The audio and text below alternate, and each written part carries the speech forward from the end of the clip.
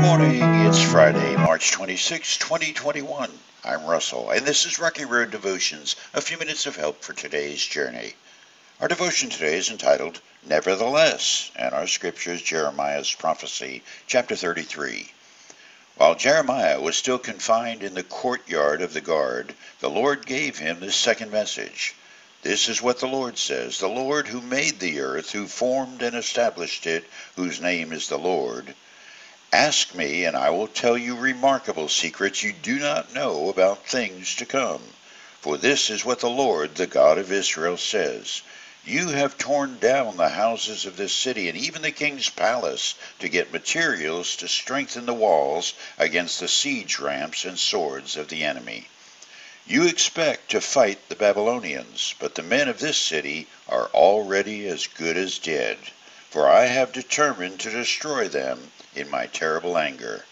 I have abandoned them because of all their wickedness.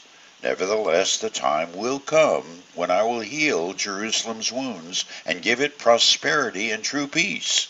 I will restore the fortunes of Judah and Israel and rebuild their towns. I will cleanse them of their sins against me and forgive all their sins of rebellion. Then this city will bring me joy, glory, and honor before all the nations of the earth. The people of the world will see all the good I do for my people, and they will tremble with awe at the peace and prosperity I provide for them. Jeremiah the prophet was in jail. This is the same guy who wrote about calling on the Lord for answers, and he's in a pit for telling the truth about Israel's sin and how God would use the Babylonians, despised pagans, to destroy the holy city.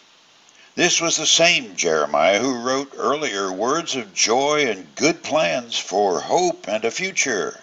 Now he tells the men of the city to not waste their time fighting God's enemy, Nebuchadnezzar, the Babylonian king. Jerusalem's freedom fighters are already as good as dead.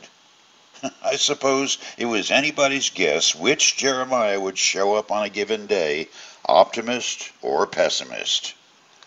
However, after predicting the fall of Jerusalem, which did happen, Jeremiah's prophecy turns on a dime with one word nevertheless. The prophet speaks of a time when God would forgive, heal, and prosper his people. The words are as gracious and hope filled as the former words were frightening.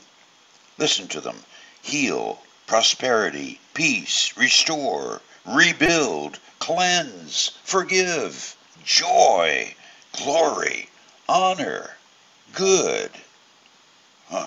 Nevertheless, what a word, what a welcome word. God's promises are like that. With a single word, even spoken from a jail cell, God's righteous judgment can send us into waves of shock and despair over our rebellious, sinful ways. And with another word of hope, restoration, and forgiveness, the despair becomes light and a future. These are people like you, like me, who've plumbed the depths of despair. We know our sins and how much we've strayed from God's pathway. We know how dark our minds and hearts can grow.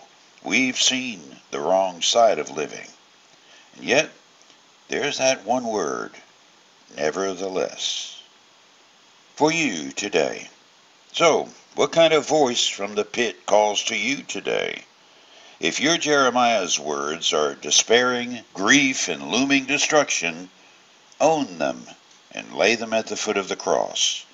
The nevertheless still stands. He will heal, restore, bless, and, well, you get the idea. You chew on that as you hit the rocky road. Have a blessed day.